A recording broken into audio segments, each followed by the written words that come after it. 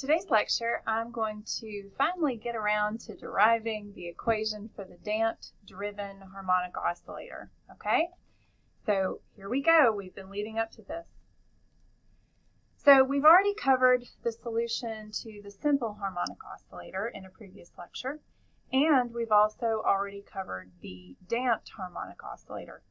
But now we're moving on to talking about the damped driven harmonic oscillator. Now there's a lot of oscillatory systems out there that have a sinusoidal or periodic driving force. Clocks, rate monitors, my personal favorite atomic force microscopes. But um, we haven't really covered how to model that experimentally before. And there's a lot of important um, applications to this, and so the equations that come out of it are super important for physics. So here we go. We're going to model the um, system as being driven sinusoidally, and we're going to assume that there's some kind of scenario or some equivalent um, shown over here. You have a piston or some, you know, machine engine that's driving it sinusoidally. So you have, instead of a fixed wall, a movable wall, and the spring is attached to that movable wall, and the piston is driving it back and forth. And then we are going to assume that we have a mass um, attached to that piston by the spring sliding on um, the floor here, and that the um, uh, frictional force here could be modeled as viscous friction. Okay, so that's what we're going to assume. Now we could start our clock anywhere, so we may as well start it with our driving force phase constant equal to zero. Why not, right? So let's say that our driving force um, is some amplitude f naught, so it's driving it with some amplitude of force f naught, times cosine of omega sub d times t. Now here, omega sub d here is the driving frequency, the driving angular frequency, and t is time. All right, so that's our equation for the drive force. Now if we think about what our free body diagram in X would be, we are now going to have three forces, right? We've got um, the spring force, viscous friction, and our drive force. So if we do our sum of the forces in the x direction, which we set equal to ma by Newton's second law, the sum of those forces will be the spring force minus kx, um, and the then the viscous friction minus cv, and then finally the drive force plus f naught cosine omega d times t. Okay, so that's the that's the sum of the forces. Now we're going to write um, each one of our uh, variables a and v in terms of their derivatives of their position x. And so rearranging the equation, putting the drive force on one side and everything else on the other side, we would have f naught cosine omega dt equaling to ma, which is m d squared x dt squared, the second order time derivative of the position is the acceleration, plus kx plus CV, and remember that V is dxdt, okay? Now we're going to divide through by m because it's kind of bad form to have anything multiplying your second or your largest order derivative. So that means that you have f naught over m times cosine omega dt is equaling to d squared x dt squared plus k over mx plus c over m dx dt. All right, so that's the equation that we must solve. Now, in all of our other um, solutions to these differential equations, we've taken the tactic of guess and check, okay? I'll leave other things to your um, differential equations professor, okay? I'm going to let the math department handle that one. Um, so what's our guess this time? And let's remember um, some of our variable terms from previous guesses as well, okay? So remember for the simple um, harmonic oscillator, the undamped, undriven oscillator, we said that our natural or resonant frequency for our system, omega naught, is the square root of k over m. So we're going to use that variable again, this time just as kind of a shorthand. And for our damped harmonic oscillator, we defined a damping constant gamma, which was c over m. So we're going to use that again as well. Okay? Now our regular simple harmonic oscillator equation was just a sinusoidal function. x of t is equal to a times cosine omega naught t plus phi, where we had some, um, some phase constant okay? And our phase constant in that case, um, actually I'm going to call this phi prime, okay? So that you can tell that it's different from the phi that I'm getting ready to derive. Okay, so that phase constant there um, is going to be different from our new one. And of course, we're not going to assume that the system would oscillate at its natural resonant frequency because we're driving it. And so if anything, we would guess that once the system settles out, that it would oscillate at the frequency at which it is driven. I mean, that just makes sense, right? It's going to oscillate at the frequency that it's being driven at. But it might not respond in a timely fashion. So, for example, you might have the drive and then there's a lag in between the driving force and the response of the system. You can't assume that it happens immediately. That doesn't kind of match with our physical intuition. Now, we would also not assume that after things had settled out anyway, that the, um, amplitude would change with time, okay? Because it's being constantly supplied with energy. So even though energy is being sucked out of the system, there's also energy put into the system by the drive force. And so we would assume that after some transient time, our steady state solution would have a constant amplitude that would balance out those two competing factors. And so we're going to assume that we have some constant amplitude. Okay, so what we're going to do is guess this solution. x of t is equal to some constant a cosine omega dt plus phi. Okay, that's going to be our guess. And then we're going to plug into that and solve for what our undetermined amplitude is and what our um, phase constant is. All right, so let's check. So what we have to do to do our guess and check solution is to take our first and second order derivatives, our position of our guess with respect to time, and so that means that dxdt, the derivative of cosine is a minus sign. That would be minus omega dA sine omega dt plus phi. And our second order derivative would then be the derivative of the velocity, which would give us minus a omega d squared cosine omega dt plus phi. All right, now we're going to plug that back in to our equation, um, which is f naught over m cosine omega dt equaling to d squared x dt squared plus k over mx plus c over m dx dt. Now, I'm going to start at this point using my shorthand that omega is equal to the square root of k over m. Omega naught is the square root of k over m. So that means that k over m is omega naught squared. So I'm going to plug that in, okay? And then I'm also going to use the um, previously defined variable gamma is equal to c over m. So that's going to be in there, okay?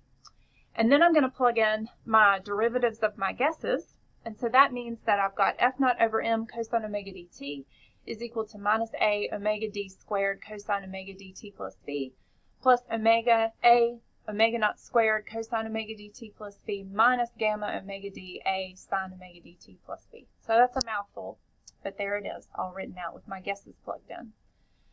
Okay, now I've got a couple of terms with cosine omega dt plus phi in that right hand side, so I'm going to group those like terms. And that gives me f naught over m cosine omega dt equaling a times omega naught squared minus omega d squared times cosine omega dt plus phi minus gamma omega dA sine omega dt plus phi. Okay, so in order to figure out what our undetermined constants are, which is the a and the phi, we need to be able to group like terms. But that's difficult because we have a cosine omega dt on one side, and on the other side we have cosine omega dt plus phi but there are trig identities that can help me out.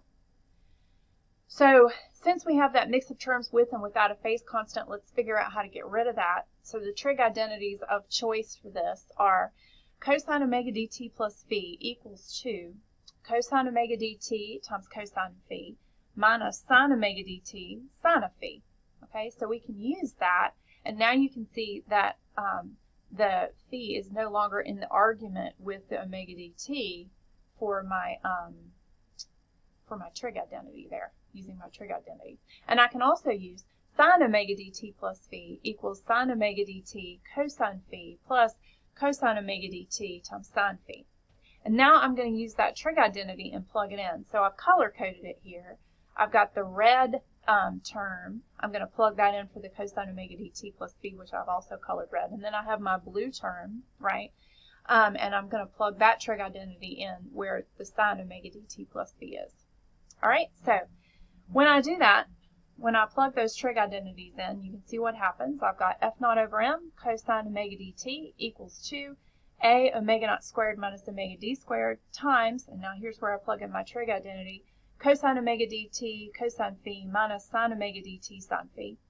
And now I'm going to plug in the sine omega dt plus phi trig identity minus gamma omega dA times sine omega dt cosine phi plus cosine omega dt sine phi. So I've got that plugged in there.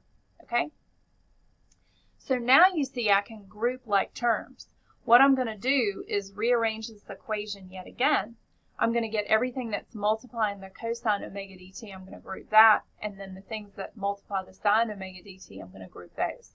See?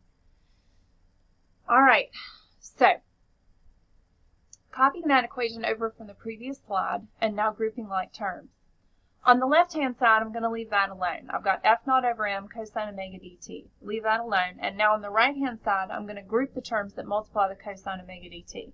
When I do that, I've got cosine omega dt times a times omega naught squared minus omega d squared times cosine phi minus gamma omega d a sine phi. So that stuff in square brackets right there, that's everything that is in the top equation that was multiplying cosine omega dt on the right-hand side.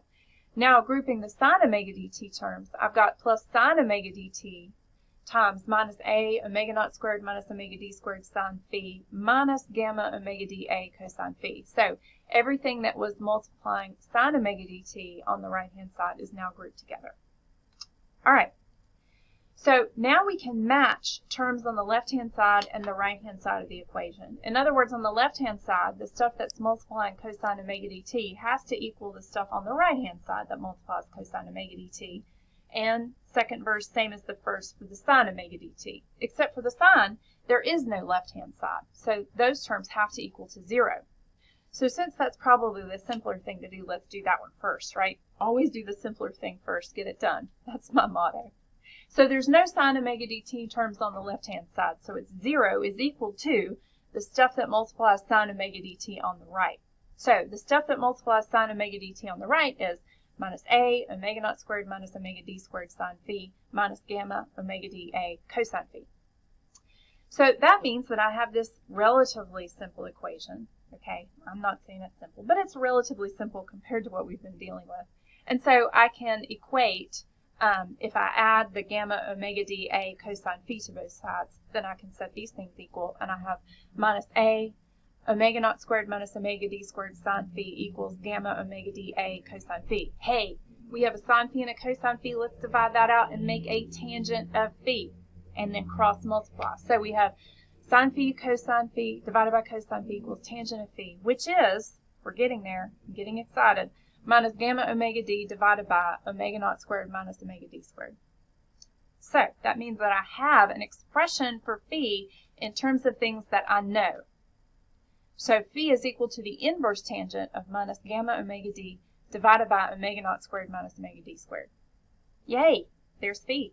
There's one of our undetermined constants. Let's tackle the other one. Okay, we can do that if we do the cosine terms. All right? I told you this one was more complicated. Here we go. If we look at our original expression, here's our original equation. I just copied and pasted it from the other slide, so this is not new, okay?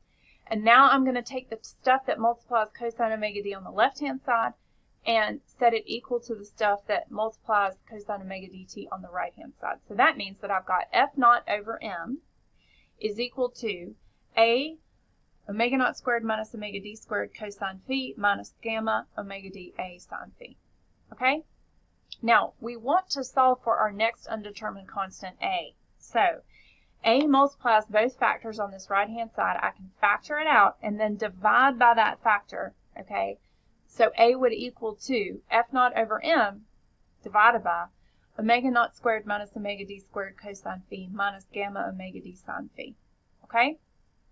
Now, if you're getting lost in the algebra and you need a minute, please remember you can always pause me, okay? So this is a nice factor of this compared to class. Now, technically, I do have a solution here. I've already determined phi, so I could be done. Hmm? I could be done. But it's kind of bad form to leave one undetermined constant in terms of the other if you can get out of it. So since we can, let's fix that, okay? Now, to get out of it and fix it, I'm going to go back to my definition for phi. Okay? So remember I had sine phi divided by cosine phi equals minus gamma omega d over omega naught squared minus omega d squared. Okay, so if I look at this, here's a little math trick. Um, I could say that, you know, sine phi is equal to the opposite over the hypotenuse. So here's my little right triangle. So sine phi would be the opposite over the hypotenuse. I'll call the hypotenuse h. And cosine phi would be the adjacent over the hypotenuse. Okay? So I could say, I don't know exactly what my hypotenuse is yet, but I could write it this way. Sine phi divided by h, you know, and so on and so forth. So I've got sine phi now is equal to minus gamma omega d divided by the hypotenuse, and then divided by cosine of phi, omega naught squared minus omega d squared divided by my hypotenuse. Okay, so that would give me this arrangement here for my right triangle. Okay, but I know what my hypotenuse is if I know the legs of a triangle. So it's just the square root of the sum of the squares of the legs of the right triangle. So that means that my hypotenuse would be the square root of gamma squared omega d squared plus omega naught squared minus omega d squared squared. And so I could write my hypotenuse in that way. So this is the little trick we're going to use, right? So that would mean that sine of phi would be minus gamma omega d divided by the square root of gamma squared omega d squared plus omega naught squared minus omega d squared squared. Say that nine times fast. It is, you know, National Tongue Twister Day today, I heard on the radio, so this is appropriate for me. All right, so then cosine of phi would be equal to omega naught squared minus omega d squared divided by the square root of omega, gamma squared omega d squared plus omega naught squared minus omega d squared squared. Okay? So, now I have my undetermined constant phi in terms of things that I do know, right? Okay, great. And you're probably thinking to yourself, she just made the equation even bigger. This is not helpful, but I'll show you. Okay, so if I take this, right, here was my original equation for A with the phi's in it. But now I plug in for cosine phi and sine phi. Okay, what I solved. So then I have this awful looking thing here. A is equal to F naught over M divided by this hot mess. But look, here's this hot mess. It's not as bad as you might think. I have in the denominator omega naught squared minus omega d squared times cosine phi, which is omega naught squared minus omega d squared divided by the square root of this thing, okay? But see here in the numerator, I've got omega naught squared minus omega d squared times omega naught squared minus omega d squared. So those things are just squared there, okay? Now, the same thing happens with the sine phi term. I have minus gamma omega d times sine phi, which is minus gamma omega d divided by the square root, okay? But that means that in the numerator of this little fraction down here, then I have gamma squared omega d squared, right? And then I can just take this square root up to the top. So that leaves me with a is equal to f naught over m times the square root of gamma squared omega d squared plus omega naught squared minus omega d squared squared. And then in the denominator, I just have omega naught squared minus omega d squared squared plus gamma omega d squared. But hey, look at that. I have the square root of something over the thing. So that means that I can cancel out the square root on the top and I have a is equal to f naught over m divided by the square root of gamma squared omega d squared plus omega naught squared minus omega d squared squared. So that's it. Now I have my amplitude in terms of things that I should know or be able to measure experimentally. So there it is. So I'm done. That's my solution for the damped driven harmonic oscillator. My guess worked as long as these conditions are satisfied. So my guess was x of t, the position as a function of time, is a cosine omega dt plus phi, right? And then my amplitude for my undetermined amplitude constant was f naught over m divided by the square root of gamma squared omega d squared plus omega naught squared minus omega d squared squared. And then my phase constant phi was the inverse tangent of minus gamma omega d over omega naught squared minus omega d squared. So that's it. I'm done. Okay, so it started out horrible, but I hope it ended well for you. Thank you for your attention. Let me know if you have any questions, and I'll see you in class.